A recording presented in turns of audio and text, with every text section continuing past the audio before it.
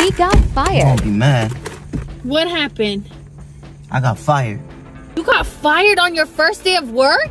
Yeah, it's your fault I got fired. How? Because you told me to lie on my resume and I'm, I messed around lying and I don't even know how, how to do half of the stuff that they had me doing. How did I how did I make you lie? You said you knew how to build houses when we passed by I, one. I know I, I know how to use a hammer and, and a nail. That's it. They put me in a crane. I, I I don't know what I pressed and I hit the building. Then they send me outside in, in, in the hot sun and um to, to break cement and I messed around and passed out. Why the hell did you pass out? I need my lunch.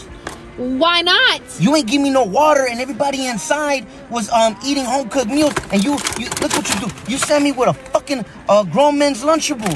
That's on you, dude. Let's go back and tell your boss that, No, he, man. that he can get you You- your my job boss, back. My boss don't want to see me, man. That guy do not want to see me. He almost kicked my ass. well, I don't want to see you either. Fran- Can I get unemployment because he fired me?